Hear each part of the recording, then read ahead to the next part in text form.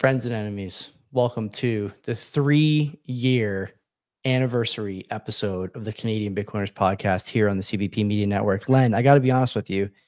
I forgot until I saw it in the thumbnail that we had done three years. So just before we went on, I said happy three years. I'll say it again. You know, we've we've done a good job. You are now you got to be close to my second longest, you know, serious relationship here. I'm pretty sure. I mean, I'm married now, so I don't think anyone else is going to pass you. How, do you do you feel any kind of way about that? I don't know. Uh, what do you think? Why am I number two? I thought I was number one. no, I'll be happy to play only in terms here. of length. Okay, only in terms of length. I won't talk about that. no, in this case, I'll be happy to be second fiddle. It's very good that somebody else is ahead of me and somebody that's very near and dear to your heart. But yeah, I think three years, this has been phenomenal. And you know that I'll be honest, I'm sorry to say this, I kind of forgot until a message came in. It's like, oh yeah, you're right. Uh, so yeah, so it's gonna be a regular old episode. Yeah. Three years of doing this, it's gonna be a lot of fun. This one, a lot of talk about both on the home front and what's going on globally, Bitcoin and uh, notable news. But Tons, lots of notable news tonight. Yeah, it's. I think it's time to talk about.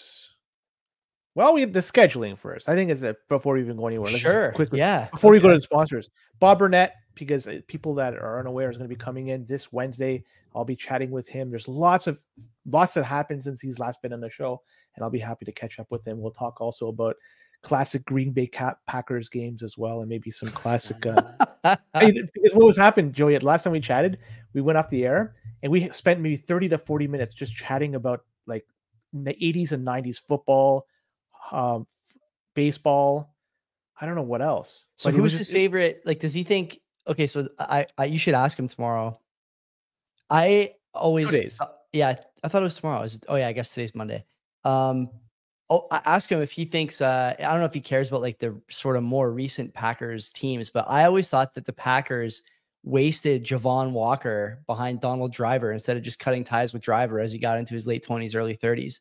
And Javon Walker was the better receiver all along. You should ask him about that. See what he says. I'll see what he says. Yeah, yeah. that's a big move in Madden franchise. You get rid of Driver if you take the Packers and just let Javon Walker run with it. That's a name I haven't heard of, uh, Donald Driver, for quite a while. So yeah, we'll, yeah. we'll go into that. Also, Joey, I think it's a good time to talk sponsors. Let's do it. This is the time. So okay, so we'll do Easy DNS, and then we obviously have some news to not share but amplify um, from the bull camp. So Mark Jeftovic, EasyDNS. He's the proprietor, friendly neighborhood hosting service, domain name registrar, all the stuff you need. Me and Len use them. Posting on the website more and more. I, I know some of you guys reached out and said you have been enjoying the research reports. I know you guys read Lens Week to Come on CBP every Sunday. It's a good place for you to catch up with us and see what's coming on Monday night so you can get ready to talk smack in the chat with uh, all your friends and some enemies.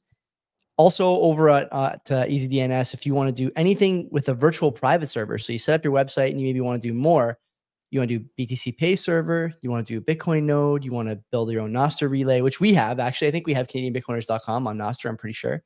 Um, I think we, we do. do. I, am pretty sure I'm verified on Nostr with CanadianBitcoiners.com. I wouldn't know because I haven't. Relay. Oh, that's, I don't know what it is. What is that? That's simply uh, what the NIP 05. It's, it's been a while since I looked into that. That's just getting your name verified. Nostr relay, like you'd have to connect a bunch of relays, and they're the ones that are sending and receiving the messages for you. There's not one central entity. You have to selectively choose which ones you want to connect to. Hmm. And I do have the thing. I have. I definitely have the check mark. So I don't know how I got that, but what, what is that? We still don't know what that's called. Verification. is. I think kind. it's a NIP 05. I think Mark, that's what. Whatever it is, Mark did it. He did it for us. He took care of it. And uh, you know, if you want to do any of that stuff or nodeless implementation, now that that service is uh, deceased, at least in part, Mark will help you. Head over to EasyDNS, take care of whatever you need to take care of. Uh, do the same stuff we're doing. Do your own thing, whatever the it is you want to do. Mark and his team will help you do it. CBP Media is the code, or catch him in the chat Monday night, or just tweet at him, or uh, I don't know, carrier pigeon, smoke signal. The Vatican still uses that. A lot of people care about that smoke signal, so maybe Mark will care about yours. Anyway, great sponsor. We're happy to be working with them. But he's not the one we're talking about tonight, is it? Uh, maybe we should talk about the other sponsor. What's going on uh, with that sponsor? Well, very briefly, let's talk about what they offer, which is quite a bit, especially right now. And you could buy and sell your Bitcoin. Look, the price of Bitcoin's been hovering around. This, this is Bull, Bull Bitcoin, by the way. Len, skip the name. Bull Bitcoin yeah, is Bull the Bitcoin, sponsor. Yeah. Because I'm looking at the price, sixty nine thousand dollars. How long have we been stuck in this high sixties, low seventies? It's been month, three weeks, probably. two weeks. Yeah, almost. That's a long time to just be stuck here. So it's stablecoin territory, maybe.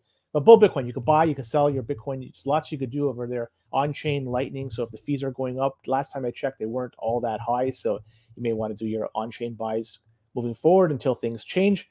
But who knows? Runes may change everything, and you might have to start buying on Lightning. Anyways, so with Bull Bitcoin, other different options you could do. You could pay your bills with your Bitcoin. So if you have a Bitcoin stack that you want to start using and start spending it out in the real world, you can with a couple of different ways. Number one, as I mentioned, you could pay your bills. So if you have like your electrical bill, your gas bill, whatever the heck you got to pay through Bull Bitcoin, you can start spending your Bitcoin and start paying those bills. The second thing you could do with your Bitcoin and spend it is buying gift cards through Bull Bitcoin. So you can use those gift cards in the real world and indirectly use your Bitcoin to pay for your purchases, your goods and services, and live on the Bitcoin standard, just the way Satoshi wanted you to. But the best thing they have, and April 15th, it looks like it may be coming to an end, is the KYC free buys, where you can go to Canada Post, load up your full Bitcoin account with Canadian dollars, and there's no identification right now, and just no KYC, so you're good to go.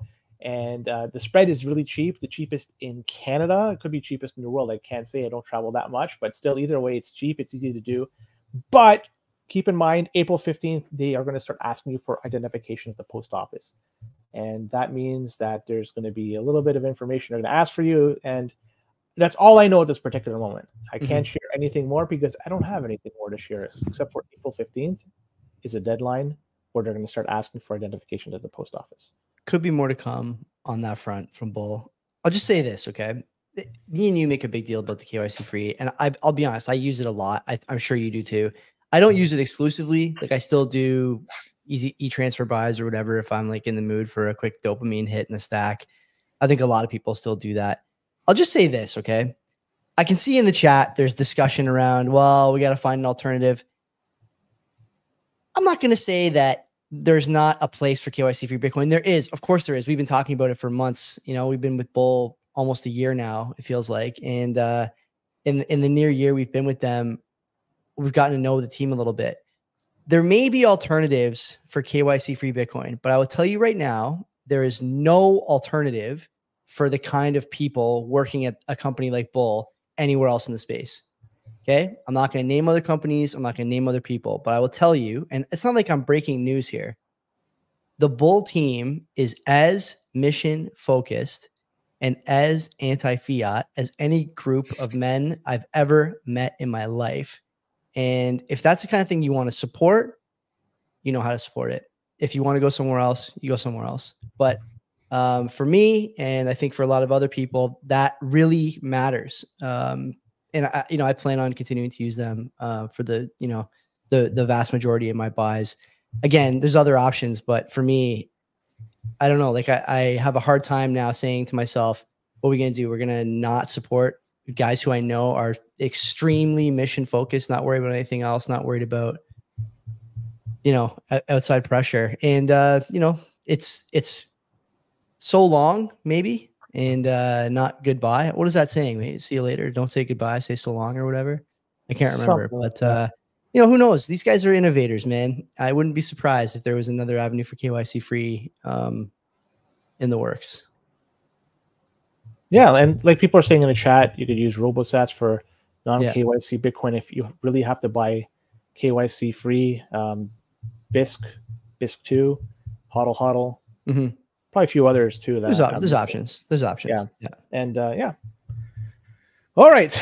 So that's out of the way. If anybody has any questions, feel free to throw it at us and hopefully we'll be able to answer it. But I also have some boosts I got to get out of the way. Let's too. do it, and then I do. I want to talk a bit about the next few weeks on the show because we have a bunch of double interview weeks coming up. Let's just prime people for that too.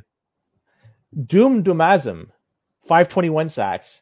Thank you for your time. He always does the same thing, 521 sats, and he's thank you for your time. So it's becoming a regular. I love the fact he's doing You're that. welcome. But he, he was on the verge of getting cut because he was fifth lowest in terms of sats.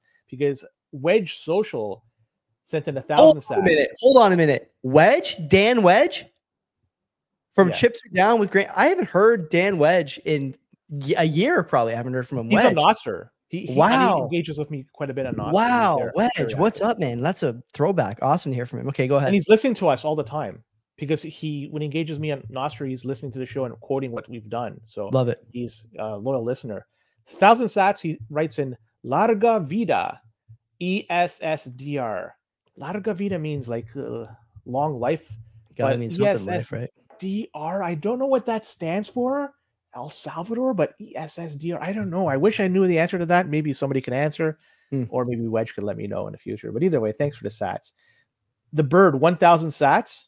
He writes in Madex equals principles over preference. Strong Legend. work. Legend. Doug and Roop, 1000 sats. He writes in Madex, phrased it so well when he said, when it comes to yourself, selling out is something that you'll never buy back. Combine that with the Joker. Sometimes it's not about the money, it's about sending a message. It says, rest at ankle, Madex, and look forward to adding some more stickers to my Fiat mining desk. Great rip, JNL. Love it. Thank you. Love it. And the last we have Jordab, 24,000 sats. Thank you very much for He says, Happy birthday, CBP, for real this time. Crazy to think that you guys have been putting out quality content for the past 156 weeks. Joey, thanks for talking about it all those years ago. It has truly changed my life. Also, thanks to PLP, Plate Licking Pleb, for the rest of the sats. so, and I just want to mention that all the stats we received to date on, I mean, for the past while on Yeah. our fountain, it's going to go to Madex and also our referral code, our referral uh, missionary stuff from Bull Bitcoin for the next week and for the past few weeks we've collected is going to go to Madex as well. So please keep buying, buying, buying. using yeah, man. Use your like I'm you know, really we're giving away what's probably gonna wind up being a fairly lucrative week of referral fees. So pump pump it up, man. It's all going to a good cause. Help that guy's ankle heal up or whatever. Len, at the conference in uh, May, I'm doing a panel with Madex and Francis that I think is going to be really, really good uh, on the main stage. I can't remember what time. I think it's this the Friday at noon or 12:10. I forget what time, but um, really looking forward to, to talking with those guys about That's the first stuff. day. Yeah, yeah, first day. Very cool. Very cool. Very cool. Um, okay, so next week, if I'm looking at this calendar right, we are absolutely slammed. So tomorrow, uh, nothing. No, Wednesday. Wednesday. Bob Burnett, right? April 3rd. The 9th, nuclear Bitcoin or Ryan McLeod. I'll do that one. Uh, the 10th, it looks like Floyd Floyd Marinescu wants to do April 10th. I thought he was in May.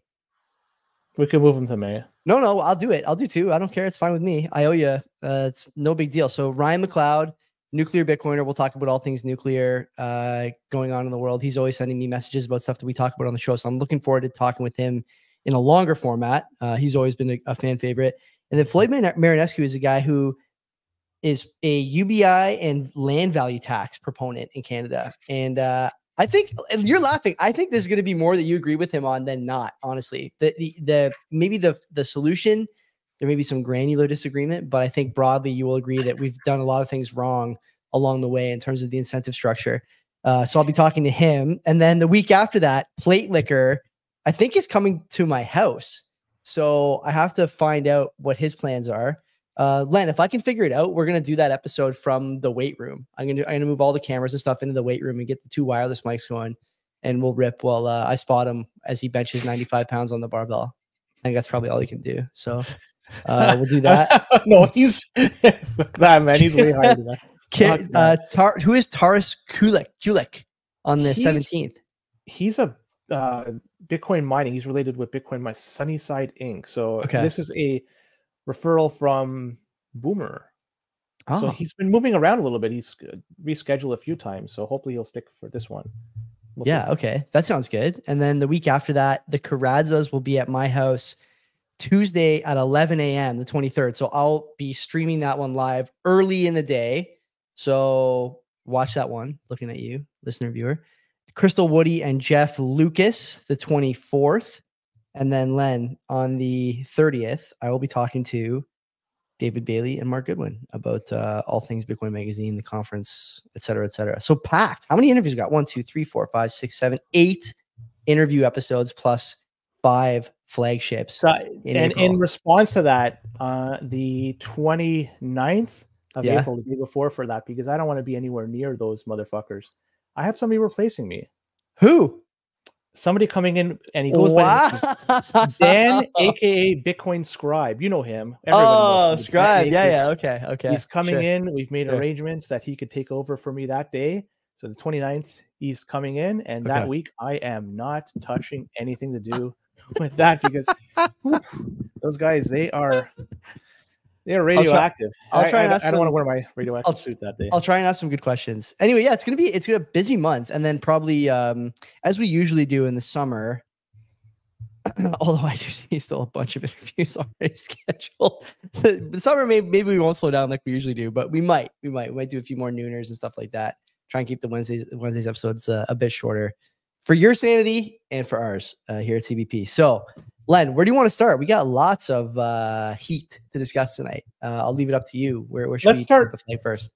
something a little bit non-controversial, like give us a an opportunity to smile on things because there's going to be more filtering options moving forward for node runners out there. Because Umbrel, this is the OS that is popular amongst node runners.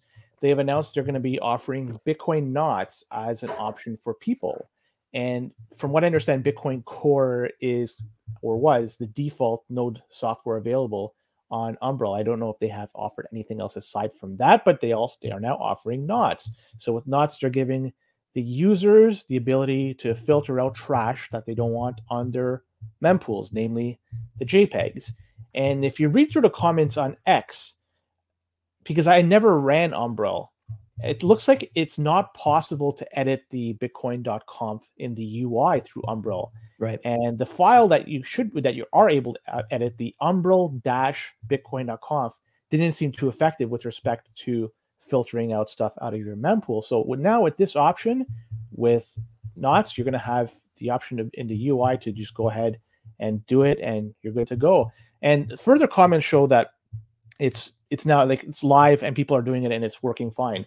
Um, I'm not sure exactly if you have to edit, like I mentioned, a, UI or a config file, but either way, the option exists somehow that you could filter this out. And I know a number of people out there run Umbrel, right? It's an Mhm. easy rendition to run it, and um, it- this might encourage them to also run knots. And the way I understand it is, if you are running right now Umbrel and you want to move over to knots, I believe you have to start from scratch and resync everything. I don't think you just download knots and move over from there. From what I see, people are resyncing. They're doing initial block download and starting from scratch. But either way, um, so on top of this, we have like Umbrel I just mentioned, and there's another OS out there called Bitcoin. Another uh, OS that allows for people to run a Bitcoin node called Citadel. I never heard of Citadel before, but they also announced they're going to allow for Bitcoin knots as an option starting in Citadel version 0.3.5. So there you go. Uh, Citadel, just an FYI, this is also not just a Bitcoin node that you could run on that OS, but also a Lightning node that you could run on that. And it could be done on Raspberry Pi 5s. So the movement for more filters continues. But I would suggest for people out there, Umbrel, it isn't really, in my opinion, the best option. If you recall, not too long ago, the ClearNet fiasco where they were pinging the server through ClearNet, Yeah. even though you, you were running on Tor, still they were calling the mothership through ClearNet to find out if there were any updates. And through that, you never know if, if they were harvesting IPs. They said they weren't, but still, eh, the question remains. So there's some questions with everything that's going on with Umbrel. I would suggest look at other options. If you just want to, to run a node, you could do that on your Windows, your Mac OS, or even Linux, which is my pref- my preference. And you can run Core, you can run uh, knots strictly on those, and do it simply and do it easily without dealing with these other OSs. But still, for people out there that want to run them, the umbrellas of the world, the option exists. Knots is available, and you can now start filtering. This is good news. Should mention that you did a somewhat deep dive into nodes on the Karadza show on Your Life, Your Terms came out last week. So if you're looking for a little more on nodes, you can definitely get it there. So I guess Len, like you're mentioning there that there's like a sync, I shouldn't say an issue, but you do have to resync your your blockchain there. You're, you have to download all the Bitcoin transactions. I mean, that's not a, that's not that big a deal, is it? It's not like you have to sit there and watch it. You hook it up, you start it, and come back in a week or whatever, and it's done, right? So I, it's like uh, a process that you have to go through when you set up a node. I mean, I'm saying this like I know I don't actually have a node, as many people have pointed out to me. So Let's get you going. I know, I know. Um, do you expect this to continue? That all these people are going to release um, option like new options and provide a feature set that lets you, you know, get rid of uh, spam. I guess is what you would say. Uh, Well, probably right. It, it seems I like think going to. Yeah, People like it. People are, are asking for it, and the developers of the these operating systems are now enabling the users to take advantage of it. So why wouldn't they? So give people an option if they want to take advantage of it. Go ahead. It's not like Knots is very old or outdated. It No. continually gets updated just alongside Core. So there's it just gives you more functionality, easier ways to filter. You can still filter with Core. Don't Yeah. let's not dance around this. Core, you could do, do the exact same thing. Just go into bitcoin.conf file. Actually, I, I did a video on that not too long ago, and I cited the re, uh, the resource that pointed me to all that, which is Bitcoin all caps.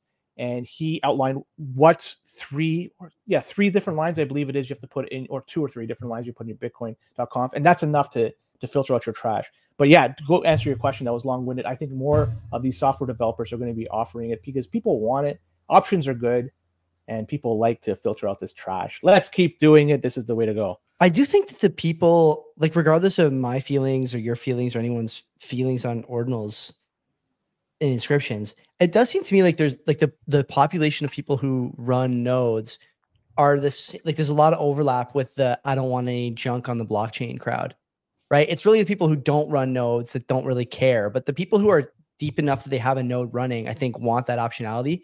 I would expect that. I mean, I don't know if you can even measure this. You might be able to, you might not. I'm not sure. Maybe you can tell me, but I would expect that the number of nodes that have some kind of filter running is going to be more than 65%. That's not, like by the time this is all said and done, right? It's, I think it's got to be, right? It seems to me like that's the right group of people to ask if they want the optionality. And most of them would just turn it on because they are kind of, what's the, what's the, you know, phrase? They're, they're more committed, right? They care more about what's going on on the network, let's say, than maybe someone who doesn't have a node. So I would expect that population is going to run pretty hot when it comes to uh, whether they turn that on or not. Right? Do I have that right? I think I do. I actually I'm in the opposite end of the spectrum. I, am if I had to hazard a guess, I would say a very low number of people are actually engaging with the filtering of their nodes. A lot of people, I would imagine, are running stuff like Umbrel, and up until now, you didn't have the option to do that, so they were Mhm. just doing that. So I think now with the option available, Oh, when, yeah, when the dust users- when the dust settles, like sixty five percent, is that the right number or is it too high? probably a rather high, but it's it's going to be creeping up every every month just because of through education and the options available. I think that number is going to be creeping up. We'll probably be in the twenties, maybe thirties, if Mm. and that's even very high at that. That's but okay. Yeah, I could be wrong, I, and I hope I'm wrong. Yeah, I mean, I, I, I, I'd be surprised, honestly. But I, it's look, the the whole point of Bitcoin is everyone gets to do, you know, the and the ordinals crowd would make this case too. I'm, I'm using everything I'm doing is in the rules of the network. Well, so is filtering out the transactions. So mm-hmm. we're, we're all going to play by the same set of rules, and may the best man win, right? Mm-hmm. Yeah. Let's move on, Joey. We want to talk about Coinbase. I think it's a good opportunity to talk We about that. may as well. Yeah, sure. Let's dunk on me some more here. I got the ordinals No, one up first, filtering it no out. Now we got the Coinbase. Go ahead. There's no fucking talking about it. This is because they're going through their own set of headaches with U.S. regulators out there. Yeah. Because Coinbase, the question is, are they operating as an unregistered broker exchange This is okay. I clearinghouse? yeah, give the summary, and then I got a lot to say about this. Honestly, I think it's ridiculous, but go ahead.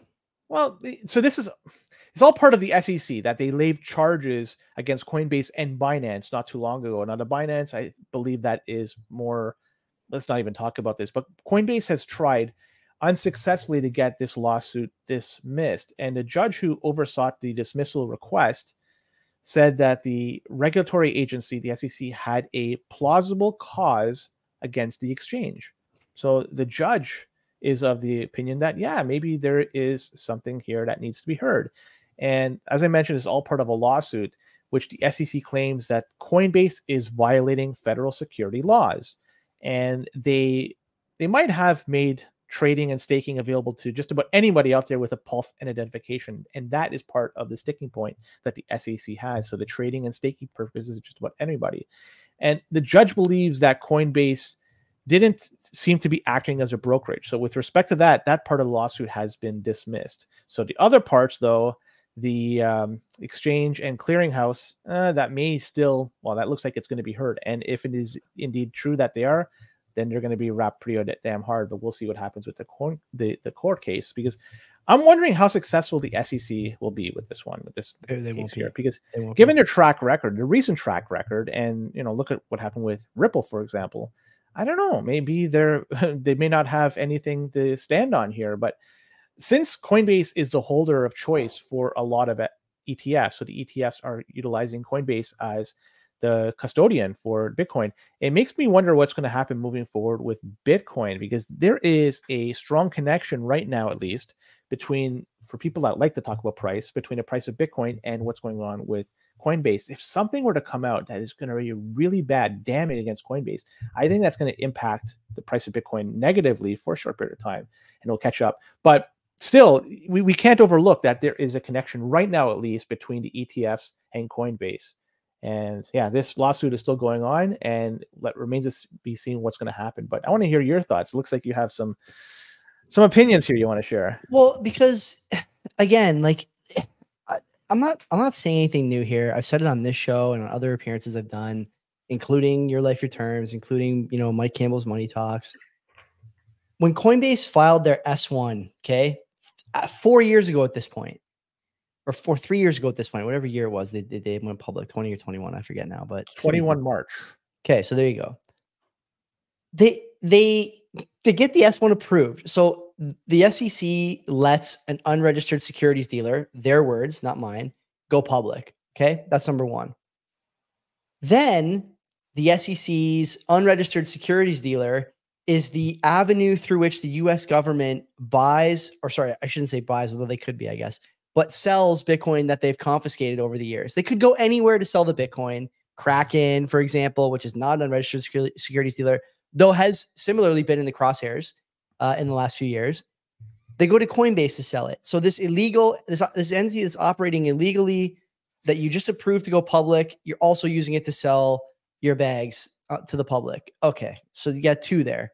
Then you approve after so much, you know, debate and uh, disrepute these ETF products, including, by the way, changing the Grayscale Bitcoin Trust, which has existed for a long time, to, to an ETF.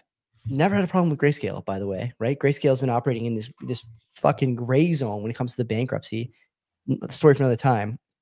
Uh, you, you approve all these ETF products where Coinbase is the custodian. Your illegal securities dealer is the custodian for public facing ETF products for which there is demand unprecedented anywhere in the modern market economy. Okay. Now you're telling me that you're going to continue to go down this road saying that they're running some kind of illegal operation. Wh- What, what leg do they have to stand on? Gensler at this point is just like sub- submitting himself to these public humiliation rituals on a regular basis. He's losing everywhere. As much as I don't, you know, want to talk about Ethereum, I, I'm even looking the way he talks about the, the Ethereum ETF. Is this guy, is this guy like for real? There's going to be an ETF for Ethereum, whether I want it or whether I don't want it, whether he wants it or doesn't want it. There's going to be an ETF for Ethereum because the guys who are walking the dog and giving the dog biscuits, guys like Fink and others, want the product. He he's he's going down this road where he just doesn't seem to care about how legitimate he looks. He only wants to, you know, sort of feign this power over markets and over uh, entities that are operating in the U.S. market. Is Coinbase running a securities exchange? I- don't know. I don't even think it matters, honestly, Len. Like to me, it, it doesn't matter at all. You've given implicit approval to this company over the last three years, vis-a-vis all these other actions that you've taken and the actions that you haven't taken during the same period. And now this is when you're gonna try and run. Like I, I just I don't get it. I, I really don't. And uh, I'm looking forward to seeing what happens because it seems to me like Coinbase is just so much better equipped to handle this stuff. On another note, uh, in the past, you've seen Bitcoin companies, Coinbase included, take on former SEC and other regulator uh, legal support, attorneys, whatnot, people who would you would who you would imagine know the inner workings of some of these institutions and agencies. There's been a recent push. I don't remember where I saw this, but there was a, a semi-prominent person on Twitter. I say semi-prominent, sure shit more prominent than me and you, but, but he's talking on Twitter about how these companies now are basically saying behind closed doors, do not hire anyone from the SEC anymore. Let these guys rot in obscurity once their regime turns over. Uh, no more revolving door into crypto. We don't want them. We don't need them. They're complicit. They're architecting the problem. They're not just being fooled by Gensler. And so I think there's been a, a real shift in the power dynamic between the SEC and the crypto companies. Mostly, I will I will admit that this mostly comes as a result of traditional finance entities grabbing the bull by the horns here in a major way when it comes to ETF products. Um, and I expect Coinbase to win because it's in everyone's interest now, as far as where the money is, that Coinbase continues to win and dunk on the SEC. And Gensler just looks, he just looks like a sad little man at this point, honestly. You know, he gets on TV and Joe Kernen fucking, you know, 360 windmills on him. He gets on Twitter and people fucking dunk on him. His agency can't keep the fucking Twitter password secure. Like, what is he doing to protect anybody? The answer is nothing. He, the agency has lost all its teeth. It's lost its legitimacy, like so much of the U.S. government at this point. And uh, I expect it to continue. It's only going one way, and it's just it's not going to get better for this guy. I don't think before November. Well, look at the way the winds are blowing because it's going to be. Uh, because we'll go to the next story. It's going to give an idea because this one either flew under the radar or nobody gives a shit about it. You, you hear what's going on with KuCoin? no, no, I haven't. Len, I haven't heard about what's going on at KuCoin. Tell me. well, KuCoin and two of its founders, they've been charged with Bank Secrecy Act and money laundering violations. Cool. Is, I suspect this is rather large because this was spearheaded by Damian Will- Williams. This is District of New York, so that's the person that's involved there. So KuCoin and its two founders, Chun Gan and Ke Tang, hope I pronounced it right. They're hmm. accused of operating without proper anti-money laundering protocols. And the US is arguing that KuCoin has pulled the wool over the eyes of the US by fudging the numbers of reported US users that are trading on their platform. The US also is arguing that KuCoin has a responsibility to act accordingly to help identify and drive out crime and corrupt financing schemes, aka money laundering. Sure. And KuCoin not reporting certain data, well, this has put them in hot water. And mm-hmm. what I find odd is that this is one of the world's largest exchanges, but this news isn't even making a ripple. And I'm not talking about that shitcoin XRP. this nobody's really talking about this, which is kind of odd, at least from what I gather. Yeah. And so they only introduced a KYC program, KuCoin did, back as late as July 2023.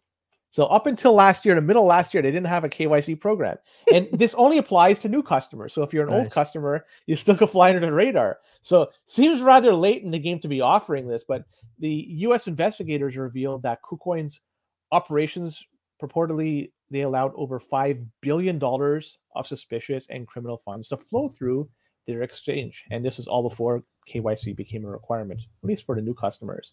And some of these funds are being tied into Tornado Cash. Remember them?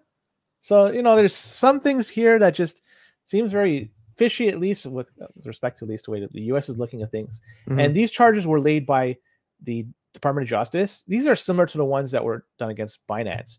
And looks like they're slowly going through all the files that they have on their desk to get to each exchange and make sure that they're doing everything what the US thinks they should be doing. So this is an interesting story that not many people are talking about this for whatever reason, but here we are. KuCoin is under the eyes of the radar for the U.S. government. Interesting. Narwhal's in the chat saying that KuCoin was uh, one of the last sort of OFAC resistant uh, exchanges out there. So maybe that's related, right? You got Tornado Cash, you got OFAC resistance, the KYC program that wasn't until last year, and now, uh, yeah, under the gun. I don't know. Like eh, it's it's maybe it's just because we're in North America. I don't think KuCoin is very popular over here. There's a lot of other options that are a little easier and a little more transparent. So probably it's not top of mind for many of us, but something to keep an eye on. There's, there is no bad data point when it comes to these stories. It's good to keep, good to see like where everyone is coming down on these things, and uh, this is just another example of why you should be careful of where you spend your money in terms of buying Bitcoin because now you know, presumably some of the names and addresses associated with that exchange are going to be under the microscope a little bit more than maybe they want it to be. The one thing that I'm just again, I just reiterate, I'm shocked that not many people are talking about it. It just seems that yeah. you know when Binance was fucked over by the. There's so much uh, other stuff going on though, Then, Like you know what I mean? There's just, I guess, maybe I don't know. Maybe, or maybe we're just numb to this at this particular moment. Yeah. We've gone through this enough times. I, I actually didn't see this story once on Twitter, eh, like not even a single time. Where did you see it? I don't. I, I Twitter. Yeah, Twitter. Then I then I dug deep and I found the CoinDesk article. I found others and helped me, you know, formulate my opinion here. But anyways, very odd. Either way, another one that's odd. Nelan. I hope I pronounced it right. Nelan Resources. You ever heard Nilam? Sorry, Nilam. Yeah, the gold, the gold miners, right? Yeah, the gold and copper guys. And Yeah. apparently they're based out of Quebec, so they're Canadian at that. Now, this is a classic pump and dump. This is gonna be good, Joy. There's some interesting stuff I learned along the way. So rumors are floating around not too long ago, just last week, that the, this gold mining company, Nilam Resources, was going to buy 24,800 Bitcoin. And this was reported by some websites like Global News Wire, Seeking Alpha, and a few Mhm. others. And the news, you know, this was entered, it's going to be a letter of intent with something called cyber data. And they were going to acquire a special purpose entity to establish under the name of Mindwave. They're going to be, Mindwave was going to hold a 24,800 Bitcoin. And through this, Nilam was going to acquire 100% capital stock of Mindwave, and they're going to be selling some new, newly authorized uh, Series C stock in exchange for that. This, this is just a lot of you know shifting of uh, the chairs on the Titanic, but really in the end, so Nilam Resources was Nilam Resources was going to buy a bunch of Bitcoin, and the problem is they didn't have the capital to execute this type of buy. The market cap of Nilam uh, before this all took place was around five ish million US dollars. And the Bitcoin value at the time they announced it was around 1.7 billion dollars. So you do the math, five bill, five million dollar company trying to buy 1.7 billion worth of Bitcoin. If they could do that, the CBP we should be doing the same thing. We'll I was to say. so so numbers obviously don't add up, but still, even if they don't add up, so people out there they jumped on board because it raised a whole bunch of uh, speculators. You know, this is going to go up, and the stock price did jump up. It started from around 1.6 cents a share to as high as 30 cents a share in just one day. And this jump even happened after the news was debunked. And furthermore, the CEO, Ron McIntyre, resigned as he was reported as saying, just look at this chart. It's a classic pump and dump. This is right from their former CFO. Now, he says his coworkers have indicated there was going to be a transaction forthcoming, but they never gave him the details of the deal and issued a press release without letting him review it or telling him about the announcement. so basically, a bunch of guys in it, at least according to him, this is all alleged. A bunch of guys within the team, they went around the CEO, released this information, increased the stock price, and I guess they made bank as a result of this. But Somebody's, going to jail here, Len. Someone's going to somebody jail. has to right? This is a classic, you know, pump and dump. This is the TradFi version of inscriptions. It's purely trash, shady moves, and here we are. Remember Bre-X? It's not quite on those side of things on, on that level, but man, oh man, it's always a Canadian gold mining company that seems to be involved. But on the flip side, once another company does announce they're going to buy Bitcoin, and as long as it's within their means to buy it, obviously you see investors are, are happy with that. So maybe this might encourage another company out there to actually do the purchase, but these guys are not. I don't know if you saw, Len. There's another announcement that uh, shipping containers full of gold foil found at uh, Neelan Mines' most recent uh, gold discovery too. Gold foil, gold confetti, gold spray paint. Yeah, you gotta look into that. That's an interesting. You remember uh, Bre-X? No, I'm too young for that. That's like the late or late 80s, early 90s, right? I'm pretty sure. Late 90s. That's- They were the company who said they found a mine in Africa and nobody ever went to check it out. Is that them? And then finally, when like somebody went, Indonesia or oh, somewhere in- Oh, okay. in that vicinity. yeah, yeah, yeah, yeah, yeah. And it, it turned out that There was I forget what nothing they, they salted the, they salted the the testing like the the soil that they did. Oh man, somebody ended up getting pushed outside of a helicopter, I think. no, he just fell. He's Yeah, well, they found his remains like weeks later, ravaged by animals. But yeah, it was a sad situation. Either This way, reminds me. This, this you know what this reminds me of? Remember, like in 2017 or 18, it was during the ICO craze. I'm pretty sure. I can't remember now, but remember Long Island Iced Tea or whatever changed their name to Long Island Blockchain or something like that. No, it, no. it, it just feels like this is the same kind of move. Like I, I gotta get I gotta get my stock, my options up, and I gotta exercise them. So I gotta I gotta do something. What am I gonna do? I gotta tell everyone that I'm gonna buy a billion in Bitcoin or whatever the number was. I think That's that's, it's like the same thing. It's like the same thing. You should look that up. People are listening. Long Island blockchain. If you if you came in in 2020, you don't remember that, but uh it's a story worth telling. If you think that anything you see today is crazy, 2017 was fucking nuts. Some of the stuff that was going on. It's an You know, I-. They changed to blockchain. Kodak, I think, changed to a blockchain company too for like a hot minute. Did they not? Like it was a total psycho mess. what did Kodak Kodak Or, or Polaroid? Was it Polaroid or Kodak? One of them was Kodak like, oh, shifted away from from I, I can't remember now. I can't remember. But one of those companies like Yeah, moved to was Kodak. blockchain. Yeah, yeah. I just Oh it's, this God. ki- this kind of is like the same strategy. It feels like. I think anyway. I don't know. Maybe you have a different opinion, but pretty wild that that went on then. And now you have you know gold mining companies saying no, don't abandon us. We'll buy Bitcoin. this is the only way they're gonna make be relevant moving forward. That's crazy, man. Just crazy. Got a few Uh, more stories, three more in fact. This will be perfect. We'll get us up at close to the hour. Sure. SBF. hey, Right. 25 years. What do you think? Well, let's just do the rundown first. So he was sentenced to 25 years in prison for his involvement with Alameda Research and FTX. And from what I'm reading, it's not going to be the maximum security facility. I'm not sure what level it is, but they're saying it's not going to be at a maximum a maximum security. Also, CoinDesk is writing that he will be placed as close as possible to his family. So they're going to try to accommodate his family and him as much as possible to have him at least located in a close proximity to his family. Cool. The Department of Probation was recommending a 105 year sentence. And well, that is actually much less than what prosecutors were pushing at around the 40 to 50 year range. So he is given 25 years in the end. And remember, he was living a good life for a while, and this was on the dime of customers, you know, parties, League of Legends, orgies, and God knows whatever else. And perhaps all three at the same time. I don't really know.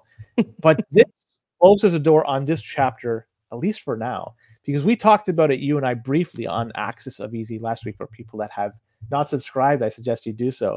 And I know you're of the opinion that he's not going to be ser- serving the full 25 years. no Am I correct on that? Yeah, yeah, there's no way. There's no way. Yeah. So, in fact, didn't we make a comparison? Who's going to be coming out first, him or Ross? Was it you that asked? No, that we're question? saying if you if you had to pick between Ross, Assange, and SBF, Oh, yeah. when the dust settles, who's going to have served the longest sentence? It's no one's taking SBF in that. No one. I'm going with Ross for the longest sentence. I don't know why. I think that he they're going to just see that through. It could be wrong, but yeah. Anything else you want to add to this story because it was a big thing a couple of years ago, a year and a half ago. Um, I don't know. Not really. It's you know not. It's not enough. He bankrupted a ton of people. The guys from All In uh, did a segment on this this week or last week, I forget, and they honestly those four guys don't know fuck all about this SBF operation, FTX, nothing. They're like, oh, it was a profitable business. I don't know why he did the stuff he did. Like, well, guys, let me tell you, it wasn't a profitable business. The only time that he was able to like, you know, make money was when he stole it from people. So um, just be careful who you listen to, I guess. Just listen to me and Len instead. We know what we're talking about. But anyway, the the the sentence, I mean, I, I can't imagine the guy serves more than, I don't know, 10, 15 years. Like what what why why do you think he's gonna serve more than that? He's a huge No. Democratic donor, huge, huge Republican donor. Like he's, you know, he's greased to the palms.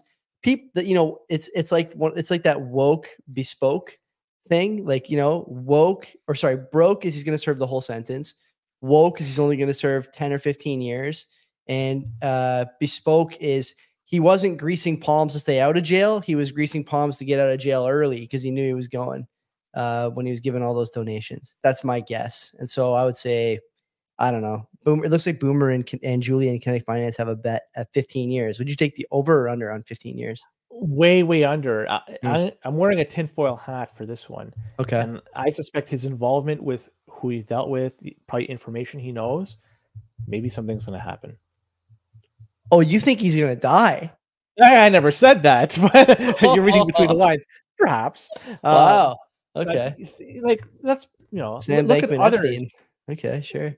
It- Who's going to serve a longer? Who's going to serve a longer jail sentence? Bankman, Sam Bankman Fried, or P Diddy?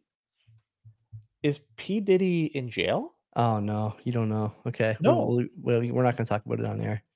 People Okay. in the chat, who's who you got? Longer sentence, P Diddy or uh or Sam Bankman Fried? Anyway, next story. I don't Go even ahead. know what he did. Yeah, well, look it up. Or should I look going- it up? Nah, don't look it up now, and definitely if you're going to Google it, maybe do it incognito. All right. So yeah, Yeah. users on X, they're reporting that Google has integrated blockchain explorer into their search engine. And all you need to do is type in the search field Bitcoin followed by the Bitcoin address, and it should show you the balance for that particular address. But when I tried it out using a generic address that I've been looking at, uh, I tried to find on Google, uh, it didn't work for me. And maybe because I wasn't logged into Google, or maybe I, I don't know, but for whatever reason, it didn't work for me. But others are reporting that you're able to do this. But either way, if this does work for you, I would strongly suggest not plugging in any addresses that are associated with your Bitcoin transactions. Yep. Um, doing so, you know, you're going to be tying your identification, your IP, and potentially your Google account to a search which you're doing, which is presumably your Bitcoin address. That's why when I did a search, I just used some generic address I found. I just typed in generic address Bitcoin and I got that and tried searching that. So it's this is also a good reminder out there for people out there. Don't rely on a third party block explorer. There, there's, you know, if you're running your own node and you have the ability then to perform searches locally. You could control the data and you could limit what information gets sent out, which is very key. But in the end, it just goes to show you there's some interesting things moving going on here because if you're looking at this story, this Google blockchain search uh, story, it's very interesting because Google, not too long ago, didn't want even advertising about Bitcoin at all. Mm-hmm. The times are changing. So if you read between the lines, it looks like they're getting more cozy with Bitcoin, but they're doing this also, I guess, to try to who's Google? What are they known for? Getting yeah, information. Exactly. And this is another way to get information. So I would strongly suggest people out there, if you're going to use this, just do it for fun. Never use any of your transactions. Try to find a transaction that is publicly known, like anything. And just I don't want to say what, just anything, and search those for fun. Don't use your own. Search on your node. You'll be good. Look up the uh, Coinbase wallets. That's it. I, yeah. I just, think, I just think that like the there's a huge, maybe not a huge, but there's some subsection of people like the the engagement farmers on Twitter who are always like, oh man, look at this. Google's actually donating, donating, giving resources to you know Bitcoin related stuff. You know what they probably did is just copy some kind of open API. Like does mempool.space um, have an API you can use? Like can you just pull their API and use it on your website or whatever? I wonder if you can or not. Because maybe they, you can, maybe you maybe you can't. But at the end of the day, like Google could have just done something like that and just worked into the search. It wouldn't take much to do. They give that, you the you know? source code for free, but Mempool yeah. gives you the source code for free, and with terms of, um, I forget the term, but in terms of getting everything and putting it on a database, you have different options. You could use a Elect RS, uh, right? Sorry, Electrum Rust. Server. Electrum, yeah, yeah, yeah. So there's lots of different options, and it's all freely available, open source. So anybody. So it wasn't that hard for them to do it. Basically, is what I'm saying. Right, right. They, yeah, they could do it. and They could just manipulate it for how they want. Absolutely. So yeah, this is not something special. The information is there, and they have the people in house to do whatever they want. For, right? they for sure. yeah. 100%. An army of, of people. Yeah, you, are 100 percent right. Sorry, I didn't want to derail this too much. No, no, that's all. That's all I wanted to add. There's not much to say about that, except to your point. Um, I'm glad you said it. Don't search for addresses that belong to you or transactions that are related to you in Google's search bar. Don't don't search for them at all. Like don't look at them. If you're looking for a transaction, like use something else. Okay, go to Tor or whatever. But uh, I wouldn't be doing it on anything ClearNet because over time, it, much like every Instagram ad you see, you're like, damn, I wouldn't mind actually buying that. Uh, you're gonna be tied to a lot of Bitcoin stuff before you know it too. So you have to assume that um, everything you type in is recorded and pinned to you. And I think that's probably the case. Like you mentioned, Alan, that's their business model almost at this point. I don't think that's up for debate. So don't don't play the game, man. Don't don't be tempted. It's just a stupid little feature. It's nothing special. It's nothing you haven't seen before. There's no need for you to try it. Yeah, you are the product, right? When you're offering something for free and all you have to do is just sign up and give nothing else. Yeah. How are they making money? How are they able to provide this service? Certainly through ads, but also it's the gathering of information and the selling of that information. And if they're gathering this information related to your transactions, I don't want to go too, too, too much into this. We talked about it. But anyways, uh, Antminer, it's the last story I have. They sure. announced the new S21 Pro, and they did this at the Global Digital Mining Summit 2024. I think that was held in Oman, if I recall correctly. The S21 Pro, pretty good st- specs here. Out of the box, 234 terahash 15 joules per terahash. So you only need four of these bad boys to get to one Holy terahash, which shit. is incredible. This is two times the hash rate of the S19 Pro. And it's a great piece of equipment to deal with with the upcoming halving, right? If you think about it, this is an absolute just perfect plug and play. Now there's going to be a lot of electricity that comes along with it, but still, just goes to show you that there is more that they could squeeze out of this. And as for comparison, the S20 sorry S21 the non-pro version has a hash rate of 200 terahash per second and a power consumption ratio of 17.5 joules per terahash. So comparing the two, the S21 and the S21 Pro, 17% more hash rate from the Pro, 14% more efficient, and this the seven the S21 was only launched seven months ago. Seven months later, we have something now is 17% Starting, more efficient. starting to go hash rate. faster. Yeah. Lots of R and D went into this. Let's be honest, they probably put a crap load into this. But also, on top of everything I've mentioned here, Bitmain is claiming that these rigs could handle ambient temperatures up to 45 Celsius. Wow. So this may be a perfect contender and a fit for those energy-rich Middle East countries that have to can you, with na- high can you name one? Do you have any in mind? Oman, man, they were just in Oman to do this. So like, why not them? Like, Qatar, Qatar Yeah. sorry, yeah, it's Pretty way- wild, man. That's that's like, I- mean, I don't know if you've done the roundup, but just the Yeah, speed that these guys are coming out with new tech in mining. And I know that these are quote unquote industrial units, but Len, like, you know, you're like three years away from being able to put this in your home basically for, I don't know, what, three, 3,000 bucks probably. What will, the, what will these things go for in three years before the end of the next epoch? You're talking seven months unit to unit here. Um, it's, it's wild. Like it is wild. And, and it's, it's happening, you know, we, it's not like this is unexpected. You see this everywhere, whether it's computers or cell phones or you know, like you and I play video games Len, like the PlayStation 5 now, Sony says it's in its it's in its end of life cycle. The thing's been out for what? 4 years maybe? The PS4 was in November it came out. the PS4 was a decade. This thing's 4 years. They say it's like getting near its end of life. But they're going to do so- the Pro next. Yeah, but the, yeah, but the, it's only going to be the pro's only a two year thing. It's not. It's so even if they go th- three more years, it's still only sixty five or sixty six percent, right, of what it was the previous cycle, and quicker and quicker and quicker. You're seeing it everywhere. Absolutely, yeah. Mi- mining's going to be no different. The, now, here's the question for you: What's this mean for the industrial guys? Do they start to? And this is a favorite topic of Bitcoiners, right? If you know that something is going to be cheaper in the future, do you delay the purchase? I don't know what you do now because you can't get enough rigs for an industrial operation and then say and then have the manufacturer say to you in seven months by the way these are a generation old now. I, I don't know what you do. I, i'm not sure what the what the fix is for that or what the outcomes are going to be here as far as the those operations right? It's interesting because you, you know you got to get financing you got to find power you got to do all these things. It's a huge ask you would like to have the things running for a year 18 months i don't know what the what the cycle is but I, it can't be seven months. Seven months is like nothing. So I, I don't know what they're gonna do, but this is it's cool news all the same. Like I love seeing this kind of firepower come online. It's good for the network. It's good for the price. But for miners, industrial miners, like it's a it's a Tough Struggle. game. It's it's Struggle, yeah. cutthroat. Cutthroat. Cutthroat. I, I don't think they're going to be in a process if they ordered a bunch of S21s to start upgrading them and replacing them with the pros, because they, they knew full well once they got S21s, there's going to be another edition coming out. Look at the S19. How many different versions? I know, K, I know. so yeah. on and on and on. So the same is probably going to happen with the S21s. It Just there's going to be a, a number of different options available for consumers, and for those that are in industrial mining, man, I don't know how they're going to be able to move forward. They got the halving coming up. The price of Bitcoin is really high, but also another thing is debt. If they have to take on debt to buy stuff, that ain't cheap. They might be able to get some favorable terms, like it's yeah, but it's hard. Yeah, but it's hard to take debt now because in the last cycle, I mean, you and me talked about this when we were doing more miner content, and you were especially doing miner content. What were they using to get the debt?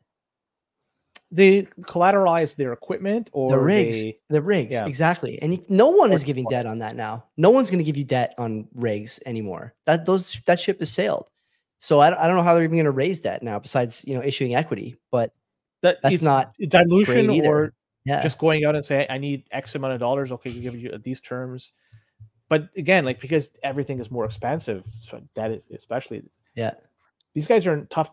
And on top of all that, now and I've been theorizing this for a while. I think we've been theori- theorizing this for a while. The oil and gas getting involved, yeah. they have a lot of capital they could draw upon, and they don't have to seek energy for the most part. Yeah. Is if they have energy that's just being wasted, just is- uh, yeah. that, right? It's It's, that's just one checkbox that you don't have to deal with. And it's- it it's it's Hmm. something and the other thing too i wrote this in the research roundup for people who didn't read it but this week and for the rest of the quarter it's actually this week and 45 days following today you start to see 13 f's come out and, and you find out who's been buying the bitcoin etfs and it's this is important as, because the, of the point you just made one of the things we've heard over and over and over again from guys who are in the mining space from guys who are uh, in the finance space sb comes to mind and everyone we've talked to about publicly traded miners and why energy companies don't get in what's the thing we always hear? Career risk.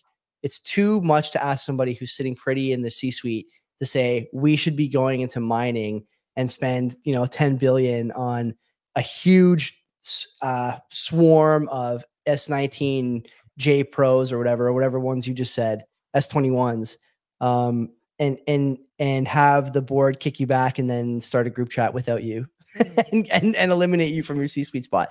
But as the 13Fs come out, you're going to find out which kind of big money operations and entities are buying these ETFs, and that lowers the career risk. For the first time now, you're going to have a lot of financials that weren't available to you, uh, you know, as recently as a week ago, and you're going to be able to see who's buying. And so now guys at Exxon can take this to their board and say, look, look at the companies that are buying this thing. It's not going away.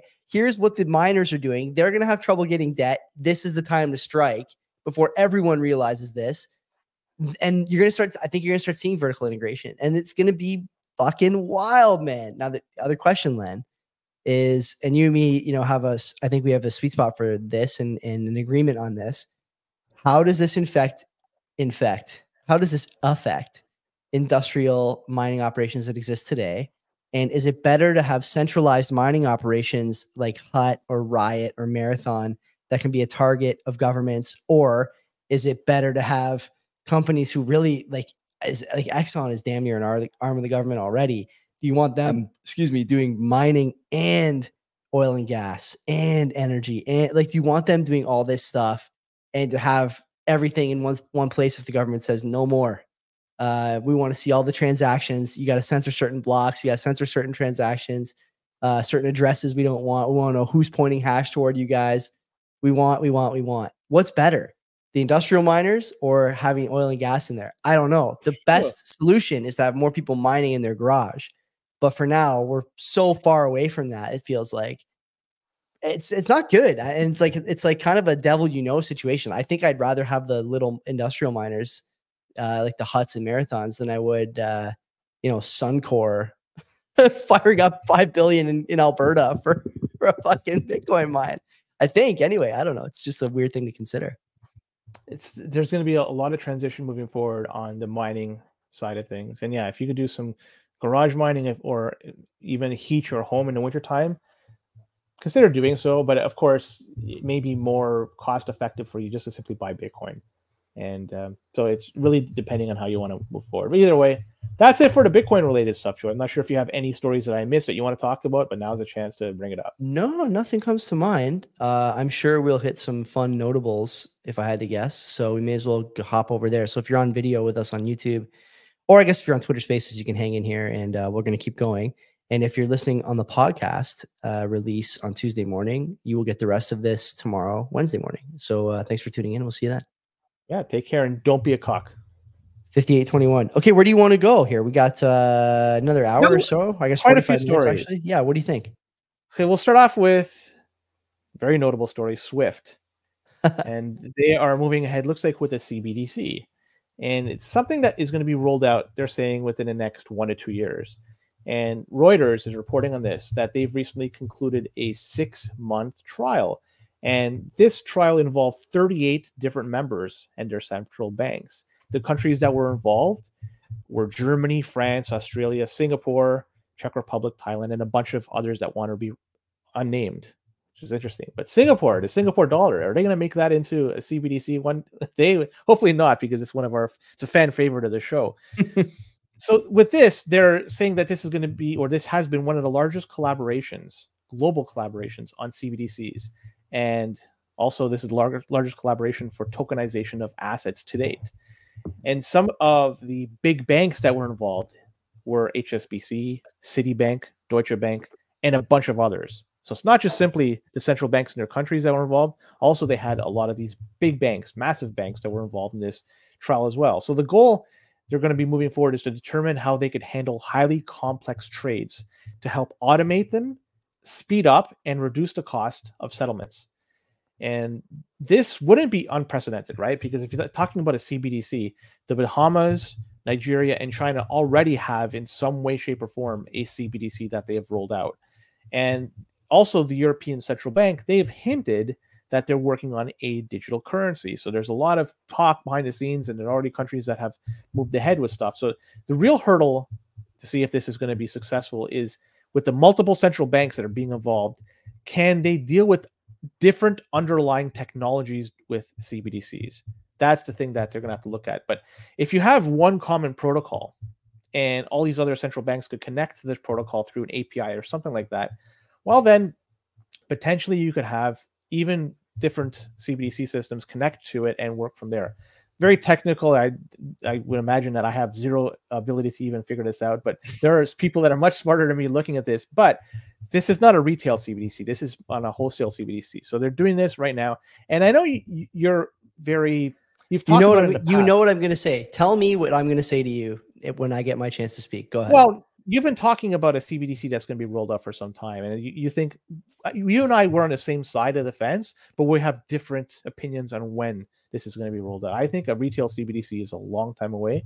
I think you believe it's much closer than what I think it is. And so, mm-hmm. looking at this, does this feed your opinion that feed into your opinion? Yeah, that's probably going to come sooner rather than later. What do you think? I think so. I mean, this my, is probably my, my only question for you was going to be: Does this change your opinion on the time horizon? Because I look at no, this, I just think it's it's like it's almost here. It's closer than everyone realizes. Yeah, it's still very far away. Again, a retail CBDC, something that you and I can transact with, I think is very far away. Something on a wholesale, this has always been the hurdles. First done this, and then you can move on to something a little bit less, and then eventually you'll be retail. And we're still, it's not going to be two, three, or five years away. It's probably going to be a decade or longer. In my you opinion. think a decade? A decade for the U.S. Absolutely, I think other central banks could do it sooner. And I'm talking about the U.S. I think the U.S. is probably the last central bank that is going to go ahead with a CBDC. I think huh. that others, the European Central Bank, the Bank of England, the Bank of Canada, a whole bunch of others will probably go first. Why not? I think they the algorithm, the ghetto is, ground, so the algorithm ghetto is calling you, buddy. It's coming faster than you think. And and in the chat, people are saying the same thing. I I, I listen. Uh, the question I think me and you haven't really dove deep on, and maybe we can in the summertime when we have like a gap in a week.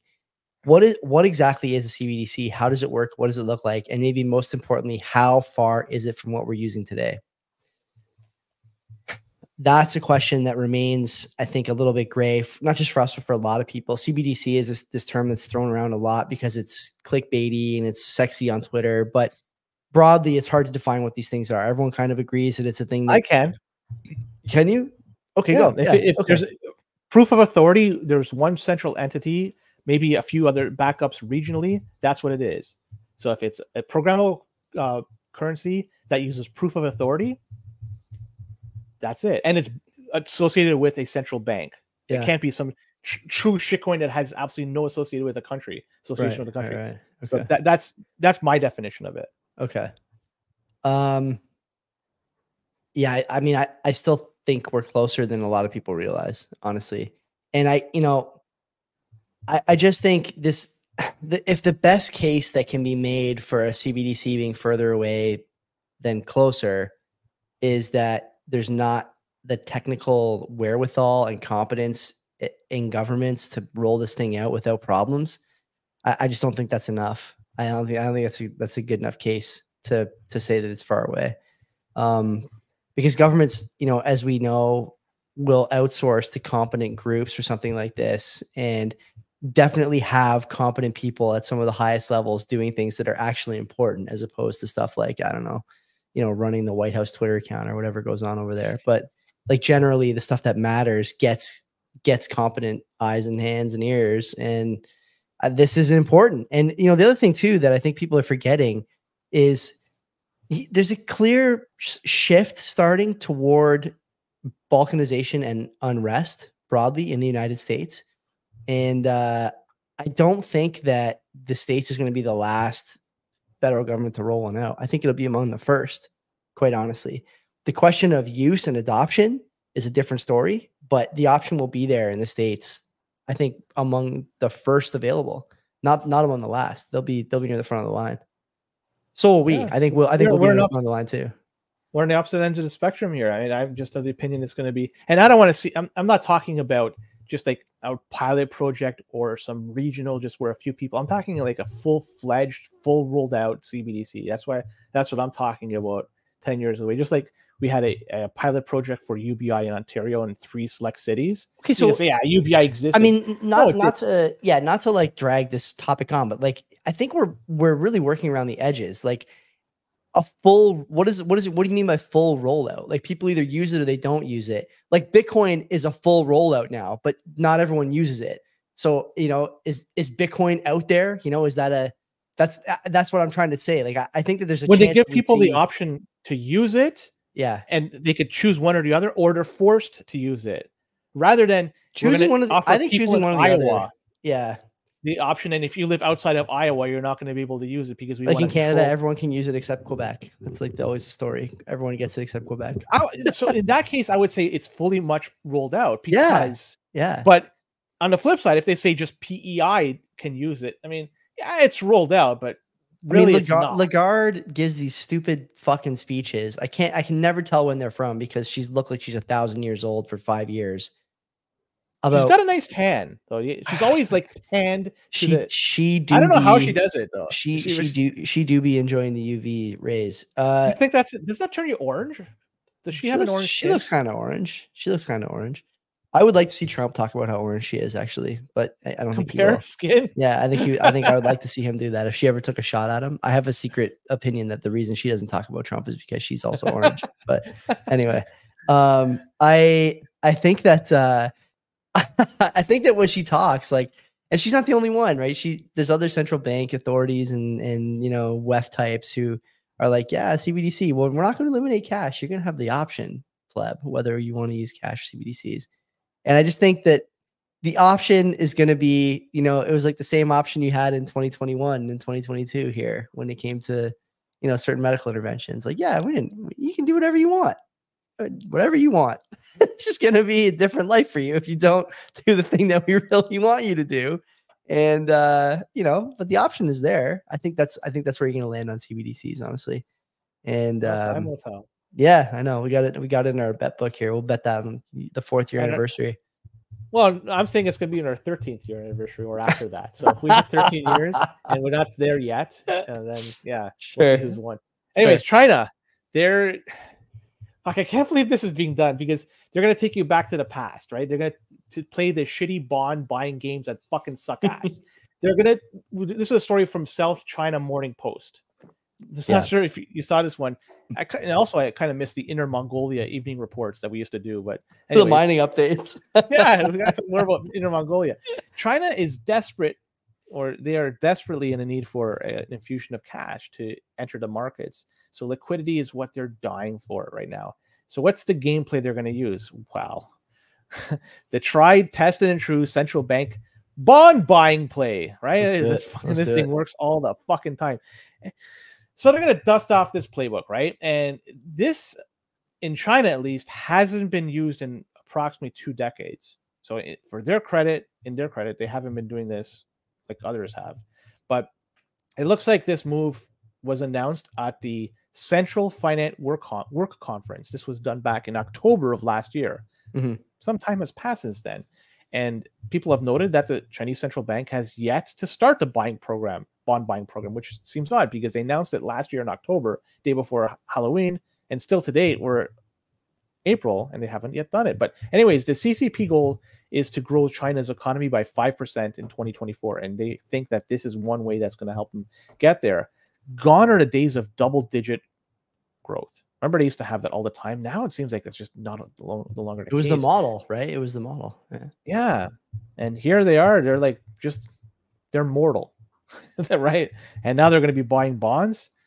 What a fucking shitty move that's going to be in the long run. Maybe it will help out temporarily in a short time, but I don't know. But again, they have their currency pegged to the US dollar. So that's going to cause some tension somewhere. I'm not sure exactly how this is going to play out. This is well beyond my pay grade.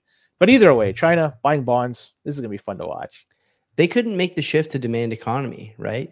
Like that was the big thing they had a problem with. They grew this thing out with the hope that it would go, you know, from a government subsidized kind of growth program and these ghost buildings would fill themselves up with people who are willing to spend money in the Chinese economy and they just couldn't do it.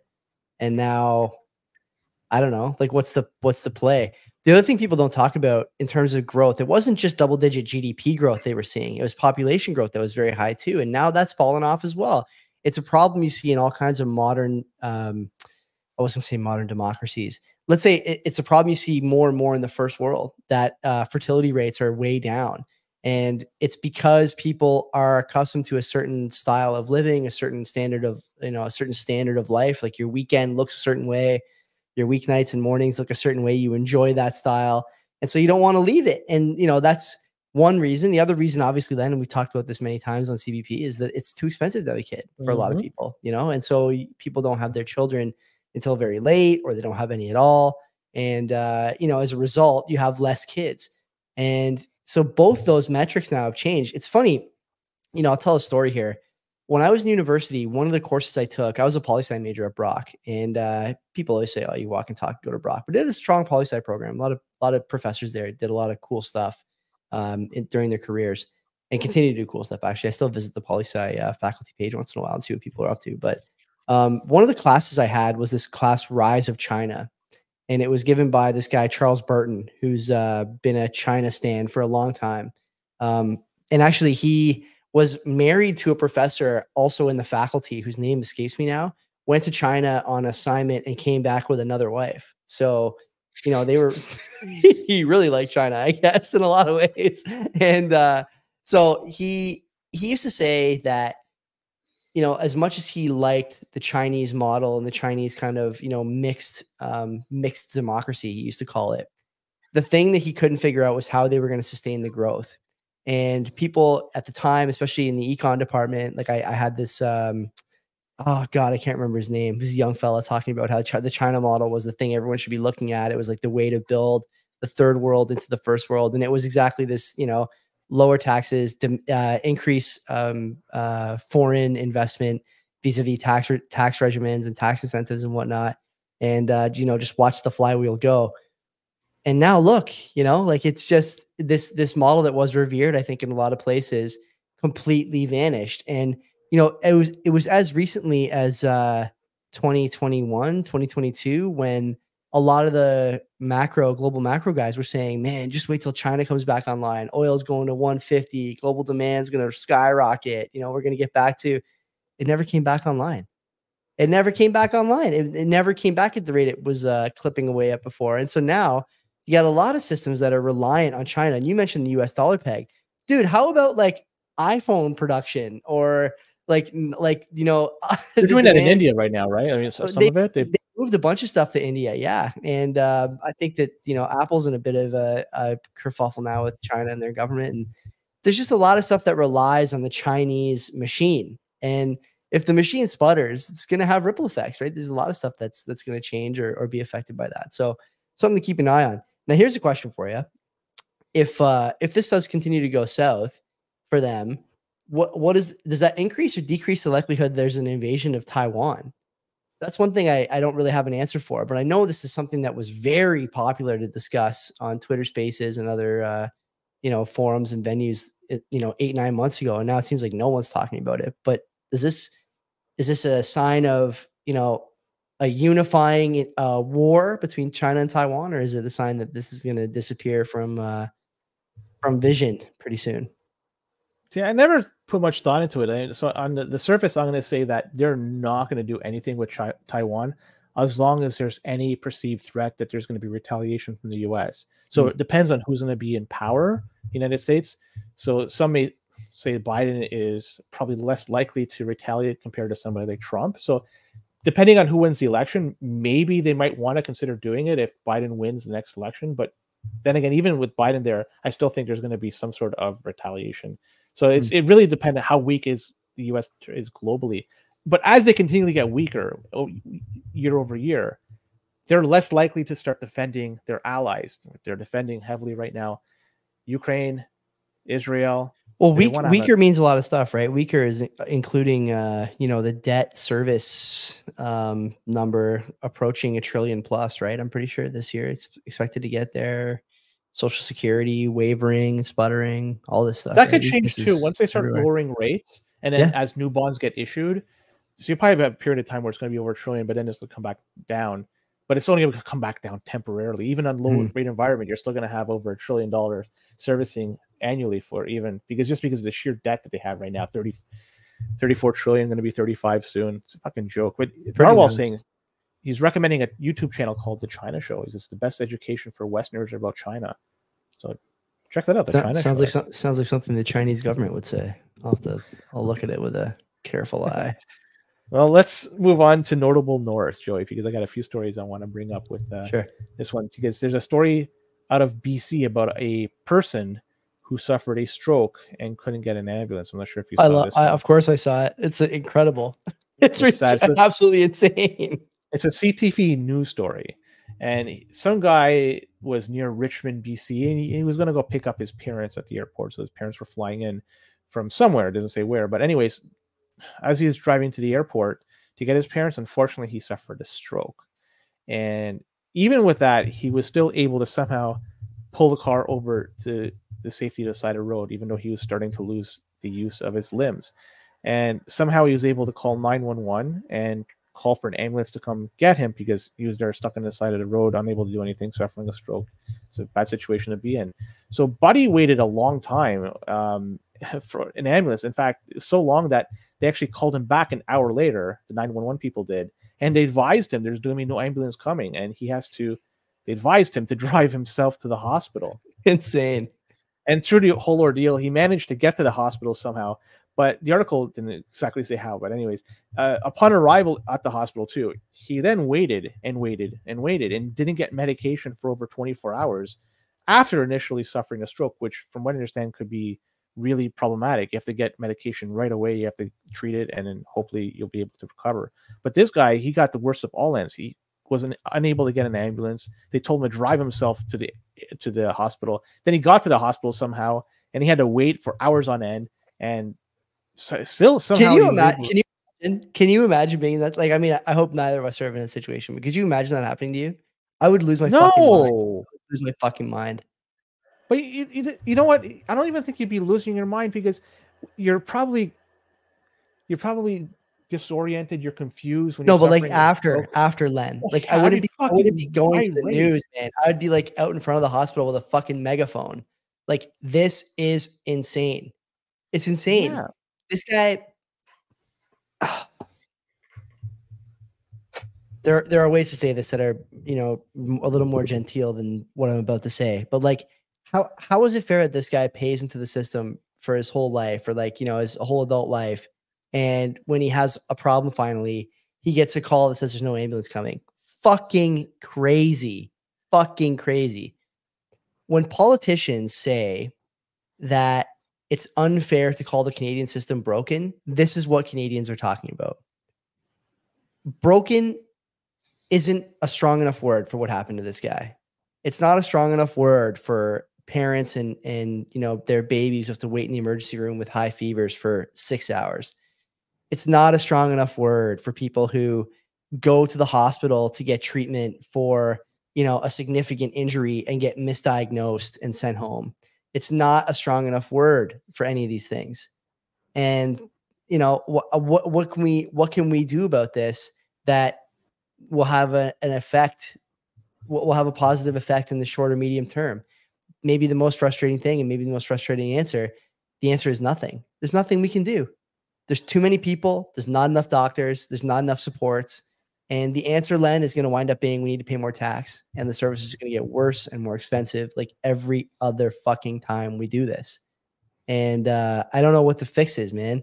Especially in some of these like more difficult to reach communities. Like I think about if you were going up north or uh, if you were at the cottage or something, you know, how how how do you how do you tell people that like sorry i know you've been paying into the system forever sorry i know you've been a good you know contributor to the cpp or whatever sorry sorry sorry but We just don't have the resources for you. So hopefully you don't die uh, either of the stroke or on your way to the hospital driving with one arm and your you know body slumped over to one side. But uh, we can't do anything for you. Like what were they what were they hoping honestly that the guy just wouldn't get there and they wouldn't have to worry about it and then he shows up and they're like oh fuck he made it. Well we still don't have anything for him. I guess let's just sit him in the waiting room. Could you imagine showing thought of the, Len, could you imagine showing up in the waiting room, right? They show up in the waiting room. You got a broken ankle or something. You're playing basketball. You broke your ankle. You show up in the waiting room. There's a guy having a fucking stroke in the waiting room. How long you been waiting, buddy? Oh, I don't know, four hours. Could you fucking imagine? It's like a fucking SNL skit. It's it's it's completely insane. We should be ashamed. People from that hospital should be fired.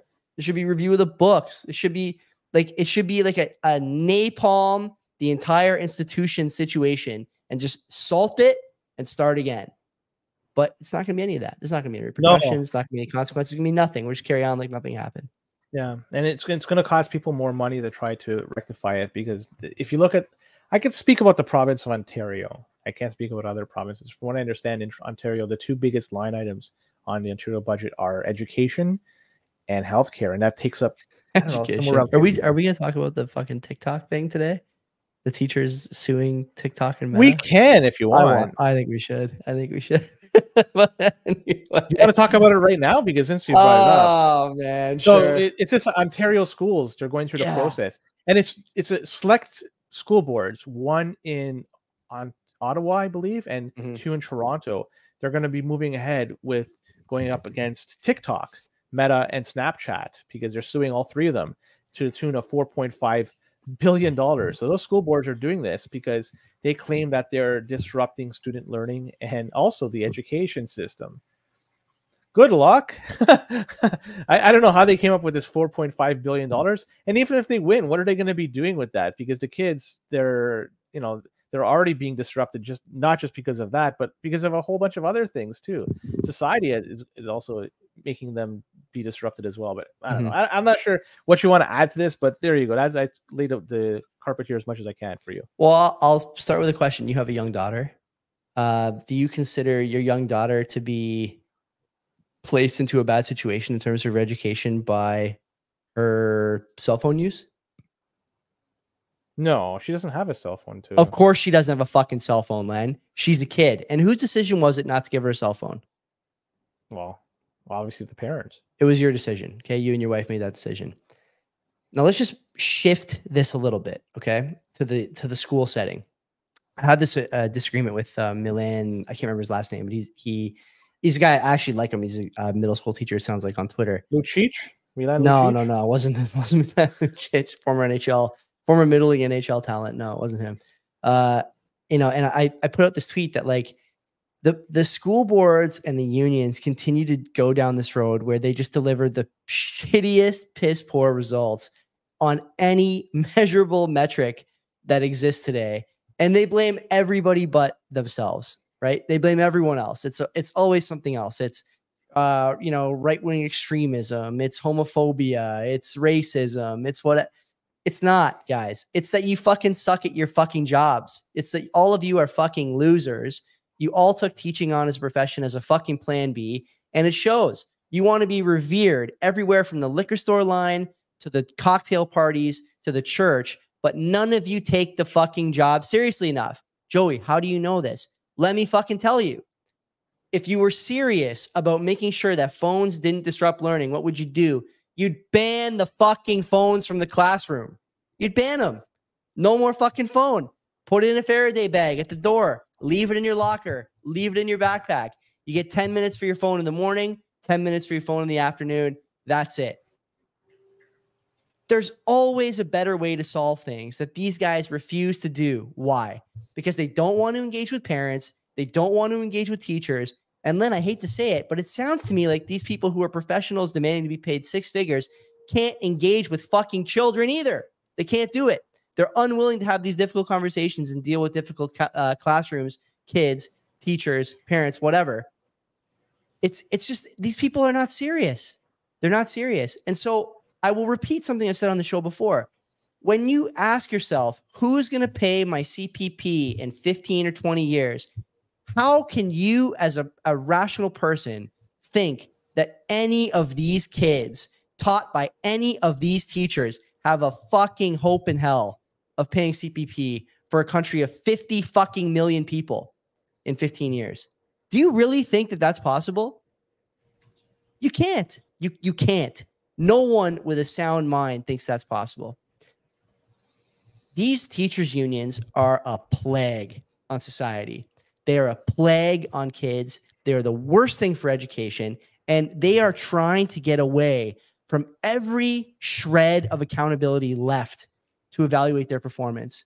Instead, they bloat the curriculum with nonsense that has no effect on the productive capacity of these kids going forward. Why?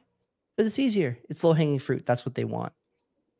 I'm not willing to entertain any other argument at this point. What else can you say? You refuse to take phones out of classrooms. Instead, you sue the fucking companies. You guys are, it's so stupid, Len. It is so fucking stupid. I, I, I want to give you a chance to answer a couple questions. Since you're a parent and I'm not a parent, if your school told you in a newsletter or whatever that from now on phones are going to be Faraday bagged when kids arrive in the morning, and if you need to get a hold of your son or daughter, you should call the school and you'll be able to speak to them through the office, uh, you know, in the office setting or whatever. Would that bother you as a parent?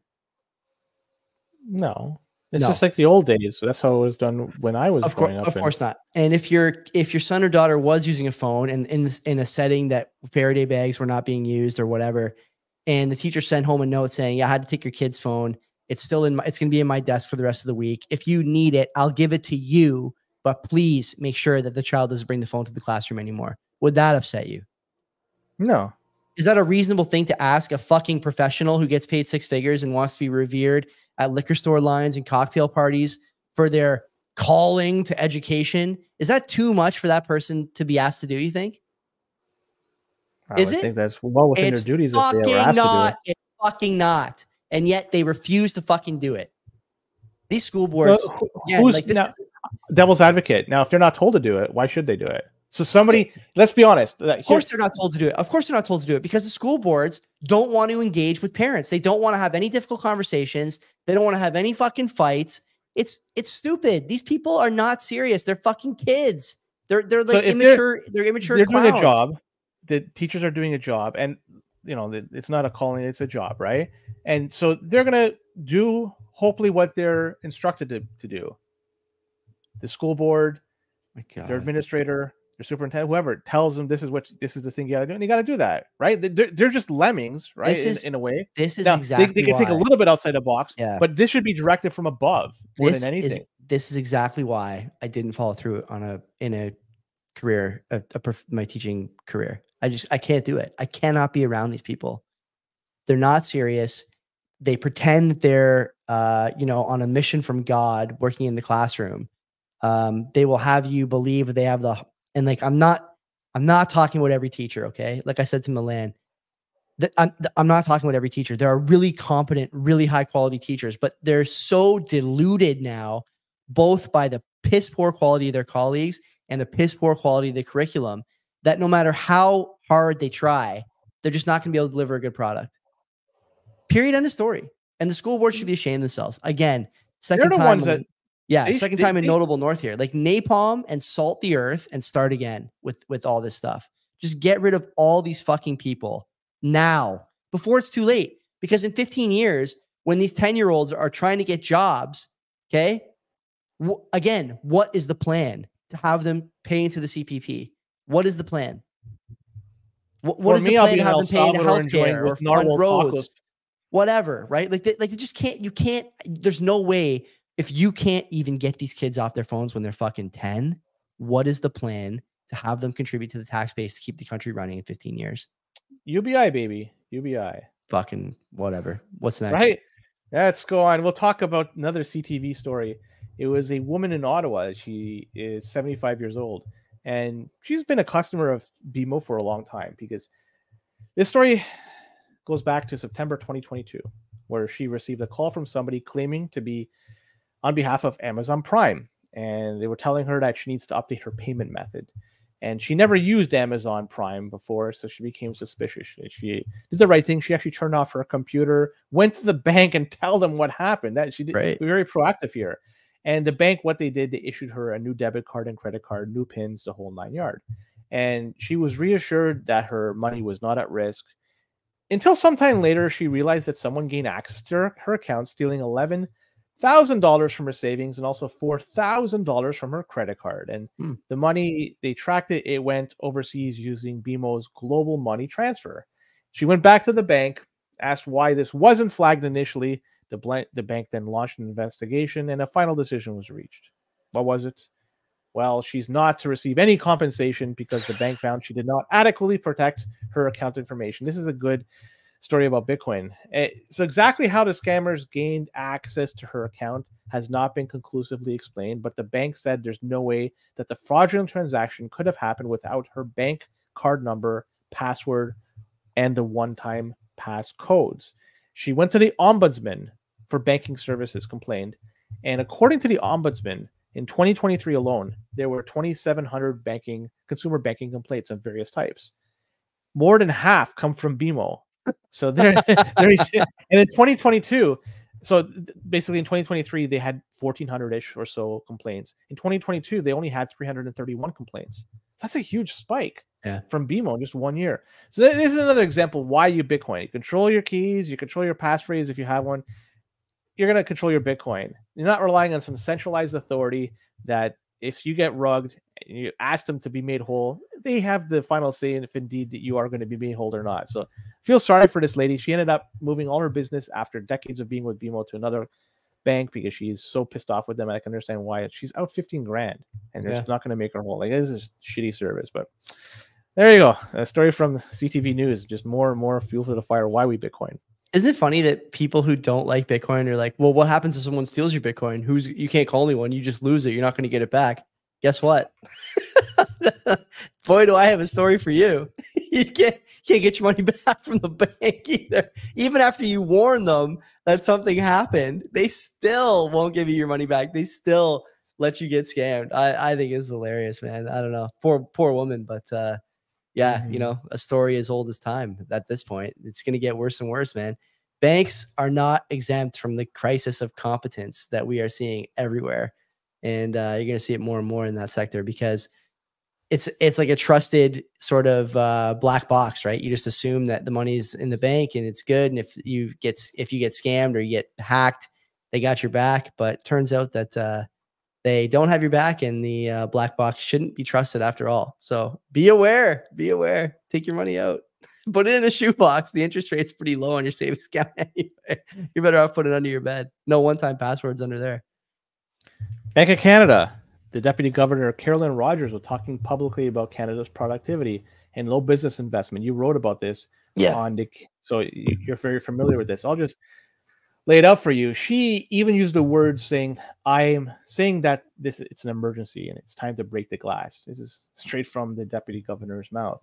She also says what really sticks out is how much we lag on investment in machine machinery, equipment, and other important intellectual property. She's citing info from StatsCan, which shows that labor productivity in Canada's Canadian businesses rose a mere 0.4% in Q4 2023. Yep. This on the surface doesn't say a whole lot, but coupled with the fact that numbers fell for six straight quarters before that, while the annual productivity declined 1.8% in 2023. That is the third consecutive year of decline.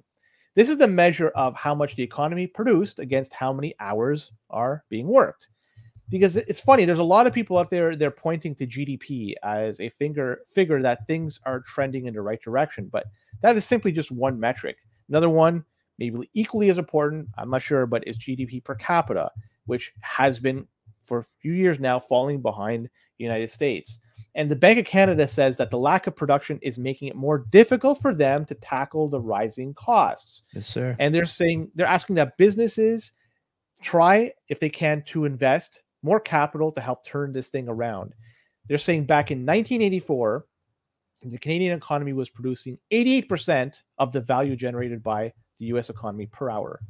But by 2022, this has fallen to 71%. That's 17% drop from 84 That's two years ago. Two years ago, by the way. So what is it now?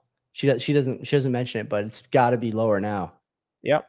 Yeah. And so they're saying that Canada's fallen behind also their G7 peers. So in comparison to their counterparts, it's going worse. It's getting worse and worse. So there you go. I, I set this table for you, Joey. I know that you, this is a topic you know a little bit more than I do. I think so. Yeah, enjoy. She she makes the case um, that the productivity issues are based around investment. She's right. So to your point, the metric really is not how hard you're working in the hour that you work or that you need to work more hours. And she mentions this. The speech, by the way, is on YouTube. It's only about 40 minutes long. I didn't link it in the article that I wrote, but you, you can find it. It's not that hard to find. She she basically makes the case that there needs to be investment in Canada to drive innovation and productivity. And she, I think, dances around a couple of things that you and me have discussed, and a lot of people have discussed, including other podcasts of, you know, of, of great stature, like the Loonie Hour or Macro Voices or uh, Bankless. Bank, bankless, probably. Yeah, who knows? I don't know if they talk about Canadian economics, but a lot of a lot of shows with a Canadian angle or Canadian host mention this stuff. And uh, you know, Mike's Mike Campbell's Money Talks, all these podcasts that are, I think, of of very high stature. Um, mention this, and and she dances around a couple things. I think two of them are more important than others, maybe three of them actually. One is that we cannot continue to pretend that the government, that government transfer payments and the public sector should be the best or should be the biggest piece of our GDP. I don't know if you've seen that chart, Len, of Canadian GDP growth over the last quarter.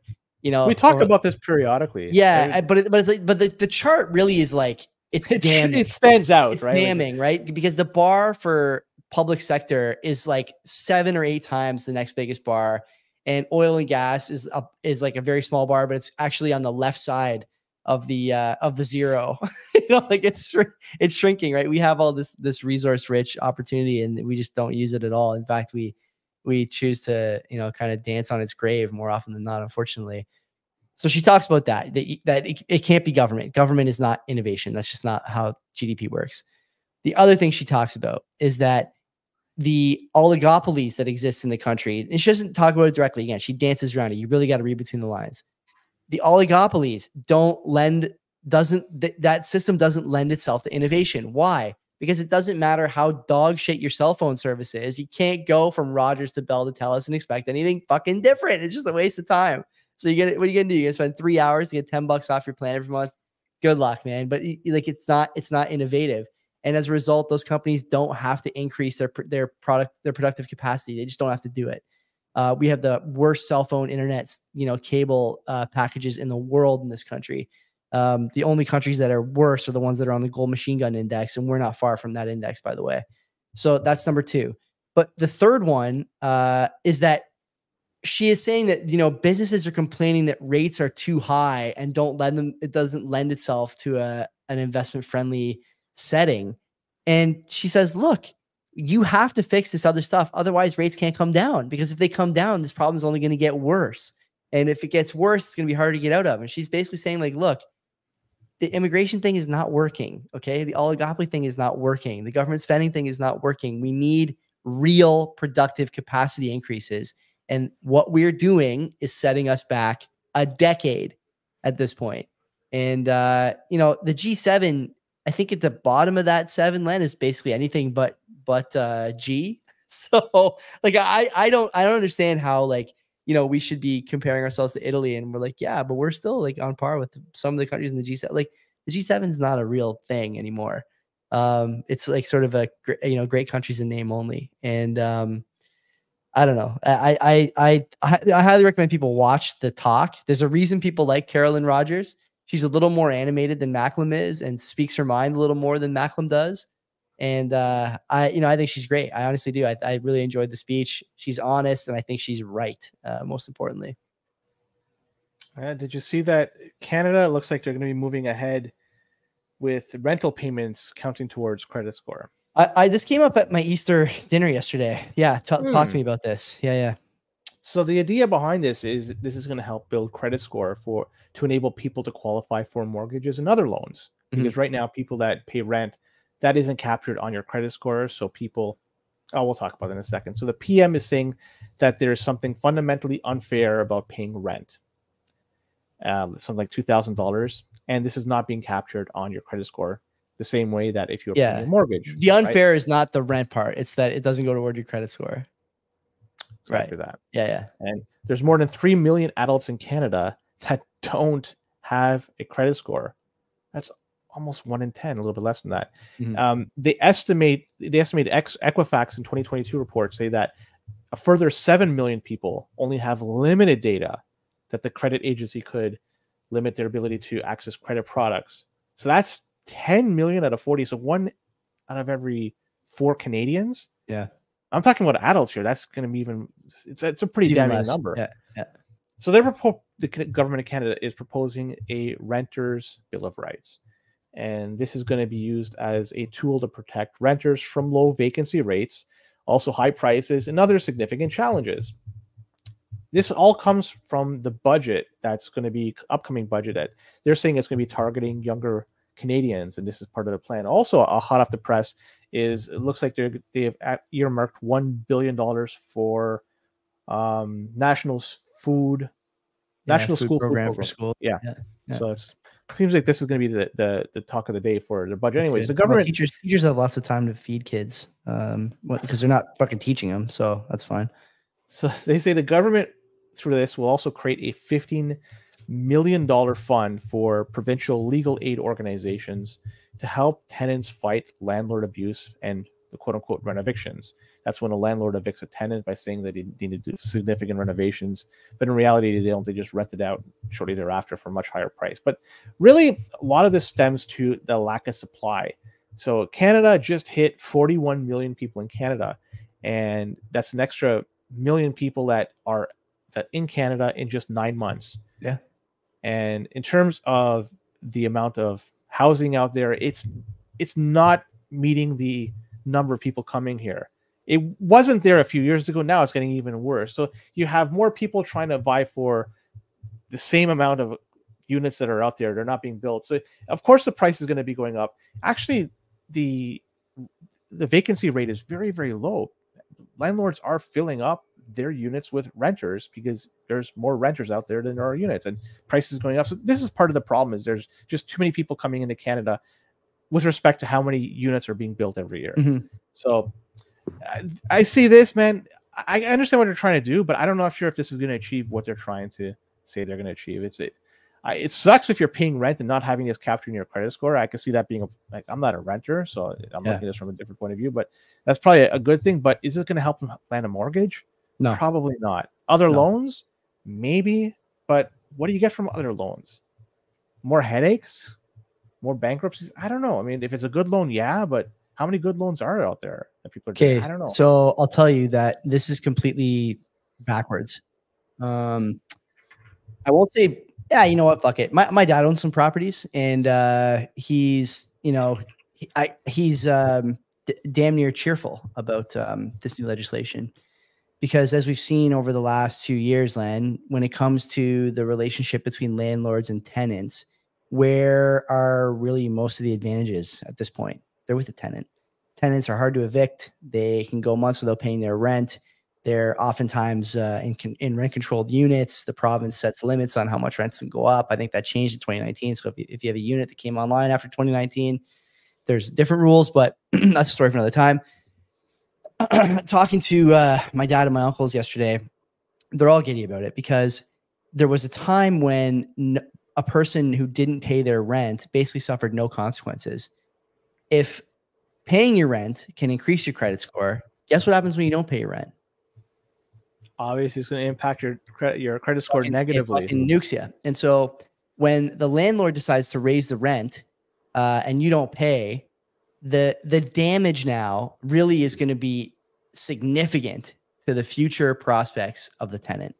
And no matter what the landlord tenant board says, no matter what the tenant wants to do, you know, he's a little late, the envelope's a little light, whatever. There is no coming back from that kind of credit damage if you miss payments on your rent. And uh, now the landlords have this tool available to them to make sure that they have um, cooperative tenants at all their properties and all their, uh, you know, behind all their doors. And uh, again, like I get what it's trying to do, but it's missing the bigger picture. It's, it's simply, it's just simply a miss. And uh, right now, it's just in you know sort of white paper phase. We'll see what it looks like in nine months, but um, you know, it's it's not promising. I don't think for people who are renting. Like personally, if I was a renter and I I sort of saw this, I might you know be happy for a minute, but even the sort of even the the people who are not as bright as they should be have to realize that if they can improve their credit score by paying, then not paying has you know the equal but opposite effect. So it's um it's a shift in power for sure. It's it shifts the balance of power between landlords and tenants in a way that I think was uh, not really considered, honestly, by um, by the powers that be. That's it for the show, Joey. That's Third year anniversary. Wrapped it up. Hope people enjoyed it. It's in the books. It's in the books. Thanks for coming, everybody. We appreciate you guys, man. You know. Um, so Wednesday, Bob Burnett coming back for like the third time in a month or something like that. How many? no, it's like seven months or something like that. He's Yeah, a good he's- guy, and, and I look great. forward to chatting with him about Donald Driver. Yeah, Driver. Ask him if he thinks Javon Walker was wasted by the by the Packers trying to stretch out Donald Driver's prime. They did wind up with Greg Jennings anyway, who turned out to be great and won a Super Bowl there. But um, yeah, I think I think they would have had more fun with Javon Walker. Anyway, doesn't matter. Good night, the everybody. Of the show. he's- What? Driver is not a Sterling Sharpe, and he's damn right. He's. Sterling Sharpe for sure. Yeah, yeah. I like what when Shannon got. Who, who was the guy? th- Didn't the Packers have that crazy kick return guy too? What was his name? Yeah, they did. Devin Hester. Not Hester. No. Hester was on the Bears. Uh, before that, before that, someone. Yeah, chat will it- know. you- I forget his name, but you're right. They did have one. Yeah, but don't. I like when Shannon Sharpe got in the Hall of Fame. yeah, He gave his ring to um, Sterling really? because he said he said in he's the only person in the Hall of Fame that's he's not the best player in the family. you love it. The the the humble. uh They always humble Shannon Sharpe. Shannon Sharpe It's has True, man. That guy was getting a hundred hundred receptions per year at a time where very few guys were getting like Haywood Jeffires got and there's a few Yeah, others did, but a lot more running going on back then. and that was outdoors in Lambeau Field, right? It's Yeah. like when you look at like Fran Tarkington that's going now going different time. That guy when he was throwing for four thousand yards is in Minnesota. season in Minnesota outdoors. That's like Uh, throwing forty thousand yards nowadays. That was a time when run first was a big thing. you gotta you gotta adjust for inflation. So yeah, man, Sterling Sharpe. I can't wait to talk about. Uh, this will probably be odd. odd It's it's gonna be good. It's gonna be good. So uh yeah, we'll see you guys Wednesday and thank you again for three years. Until next time, take care of yourselves. Yeah, don't be a cock.